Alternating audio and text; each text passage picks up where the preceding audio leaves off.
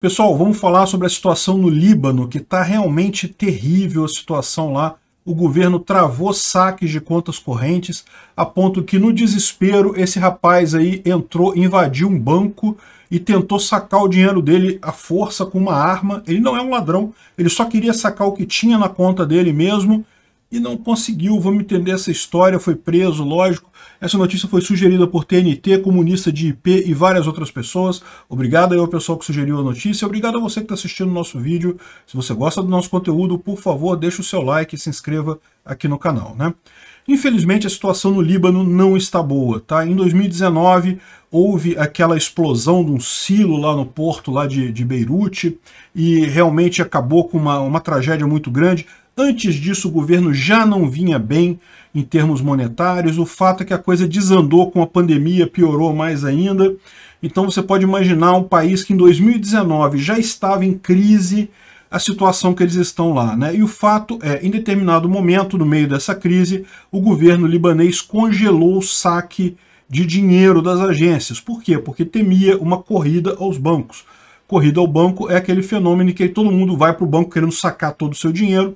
E lembra, o banco ele é uma instituição que ele guarda uma reserva fracionária, ele não guarda todo o dinheiro de todas as pessoas, ele tem uma fração desse dinheiro lá, né? geralmente em torno de 17% varia de acordo com o caso, mas o fato é, se todo mundo for sacar o dinheiro, o banco não vai ter. E qual que é o problema? O problema é que quando todo mundo percebe que todo mundo vai sacar o dinheiro, o que, que você faz? Você, pô, se vai todo mundo sacar o dinheiro, eu vou sacar o meu primeiro, porque eu quero pegar o meu dinheiro primeiro, depois os outros ficam sem, né? Você sabe que não vai ter para todo mundo. Então, é, o governo proibiu o pessoal sacar dinheiro nas agências lá no Líbano, já tem alguns meses isso.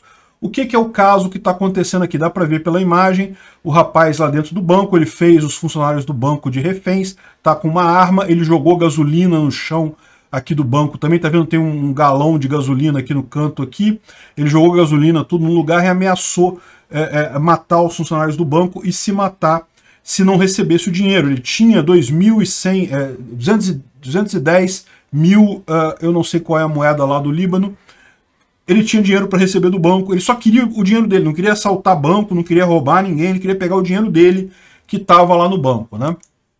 O, o nome do libanês é Bassan al-Sheikh Hussein. E no final ele virou um herói lá no Líbano. Por quê? Qual é a história dele? Ele é um cara, um trabalhador que tinha dinheiro no banco, ele tem um pai doente, ele precisa pagar despesas médicas do pai, precisa pagar o aluguel, precisa pagar um monte de coisa e ele não tem como pagar porque o dinheiro dele está travado no banco. E daí ele fez, a, a mulher dele, a Maria Sherrad, falou que ele fez o que tinha que se fazer, ele não tinha alternativa, coisa e tal. E no final, acabou que o banco aceitou entregar é, 35 mil dólares. Assim, ele tinha 210 mil dólares na instituição, então eu não sei quanto é que é em valor da, do dinheiro lá do Líbano, mas é 210 mil dólares. Era bastante dinheiro, é uma boa grana. 210 mil dólares é, é, é quase um milhão de reais, né? É, mas aceitou entregar 35 mil dólares ao irmão dele, e daí ele se entregou à polícia, ele foi preso, mas pelo menos o pai dele está recebendo tratamento, a família dele está cuidada com dinheiro ou coisa e tal. O que ele fez foi um ato de heroísmo, né? E é como o pessoal do Líbano está encarando isso, ele está sendo visto como um herói pelo povo do Líbano, porque está todo mundo lá passando um aperto danado justamente por essa situação. É fácil de imaginar que ele não é o único que tem um pai doente, que tem problema, que precisa pagar aluguel. Deve ter um monte de gente lá no Líbano passando por exato esse mesmo problema nesse momento. Né? E uh, é realmente uma situação crítica, e o que eles colocam é, olha, no final das contas isso é culpa do governo. E é mesmo. É a mesma coisa que aconteceu lá no Sri Lanka. O governo torra o dinheiro da sociedade toda, pagando funcionários públicos desnecessários, pagando uma estrutura muito maior do que seria necessária para gerir a sociedade, com roubo, corrupção, com o que quer que seja, o governo acaba torrando dinheiro demais e no final das contas, quando falta, falta para o cidadão, falta para a sociedade. É o caso clássico do uh, parasita que mata o seu hospedeiro. Né? É o que está acontecendo lá no Líbano, é o que aconteceu no Sri Lanka, e olha só, eu vou te dizer, não está muito longe de acontecer na Argentina e em outros países da América Latina não. Né? Enfim, é, o caso dele é só uma situação que realmente que despontou, porque o cara é um, é um rapaz honesto, um, um, senhor honesto, trabalhador, você vê que ele não, tava, ele não foi lá querendo roubar banco, nada disso, ele queria tirar o dinheiro dele que estava no banco, e certamente recorreu à violência, foi uma coisa traumática, né? Esse, esse caso todo foi muito tratado na mídia lá do Líbano, e no final das contas o pessoal viu ele como um herói, na verdade, né? porque realmente é, a culpa não é dele, a culpa é do, do governo. Esse tipo de coisa, felizmente, a gente não está perto de passar por isso no Brasil, pelo menos não no futuro imediato. Mas aqui no Brasil você sabe como é que é. A gente nunca está mais do que quatro anos do desastre completo. Mais dia, menos dia, alguém pode eleger um Lula da Silva da vida, pode eleger um Ciro Gomes da vida, e daí, meu amigo, a economia vai para o saco. Acontecer algo similar ao que está acontecendo no Líbano ou no Sri Lanka nunca está muito distante.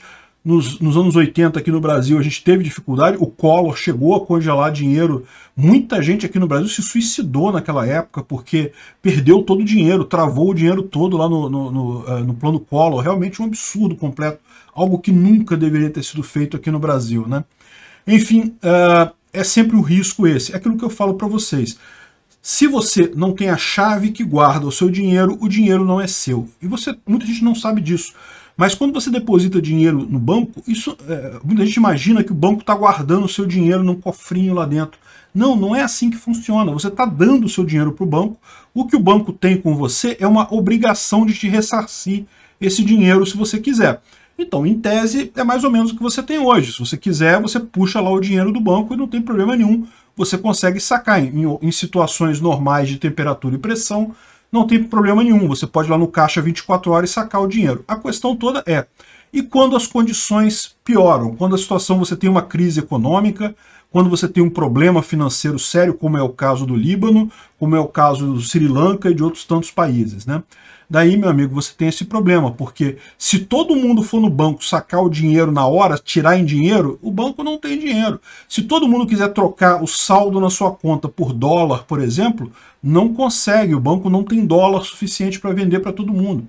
Então é a situação realmente é muito triste. A gente está longe disso no momento, mas é sempre bom ter em mente, se o dinheiro está no banco, o dinheiro não é seu, o dinheiro é do banco. O banco se compromete a entregar para você se você pedir mas não é seu. Só é seu se você controla a chave que está aquele banco. E esse mesmo princípio lógico se aplica às criptomoedas. Né? A gente teve um caso agora recente da Blue Banks, que é uma corretora brasileira que está sendo investigada pela CVM, coisa e tal, e que disse que foi alvo de um hacker e que travou o saque. Pode ter sido alvo de um hacker mesmo, né? assim como o banco pode ser roubado, né? pode roubar o dinheiro do banco. O fato é que se o dinheiro não está na sua mão, meu amigo, ele não é seu. O Bitcoin que o pessoal tinha nessa é, é, empresa aqui, nessa Blue Banks, não uh, perdeu, está travado, não consegue sacar de jeito nenhum, né? E é o que eu falo sempre, se você quer ter o seu Bitcoin com segurança, você precisa ter uma carteira sua, na sua máquina, pode ser no seu celular, aí vai depender do nível de segurança que você quer, do nível, de, a quantidade de bitcoins que você tem. Se você tem uma quantidade grande de bitcoins, eu recomendo que você tenha um nodo Bitcoin. Se você tem uma quantidade menor, aí você pode ter uma carteira e coisa e tal. Aqui, se você for em bitcoin.org, tem aqui, escolha sua carteira, para você poder escolher a melhor carteira para o seu tipo. Né? Se não aparecer em português aqui, você pode vir aqui em cima e escolher a língua português do Brasil, que ele vai mostrar tudo em português, escolha sua carteira, e daí ele faz um monte de, ele dá um monte de dicas aqui, qual que você prefere, carteira para computador, carteira para celular, carteira física, carteira física, você vai ter que comprar ela, é uma carteira de hardware, né? É, é, é preciso, assim, para pessoas que tenham um valor maior em Bitcoin. Para iniciante, quem está começando uma carteira para computador ou até uma carteira para celular é perfeitamente razoável. Né? Lembrando da importância de que, tanto no computador quanto no celular, você, quando criar a sua chave privada, criar a sua carteira, vai ser, vai ser dada para você 12 palavras em algumas carteiras ou 24 palavras em outras. É muito importante você guardar essas palavras, porque são o seu backup. Se por um acaso você perdeu o seu computador, seu celular cair na privada e você perder ele, você tendo essas, essas palavras, você recupera o seu Bitcoin. Se não, se você não guardou essas palavras, você perdeu tudo, né? Mas tem que guardar essas palavras num papelzinho à parte, numa coisa à parte. Porque se você guardar num arquivo de computador e um hacker roubar o seu computador, se ele roubar essas 12 palavras, por exemplo, ele também rouba o seu Bitcoin, né? Enfim, é, é interessante isso daqui. Se você quiser escolher uma carteira, nunca deixe dinheiro na corretora.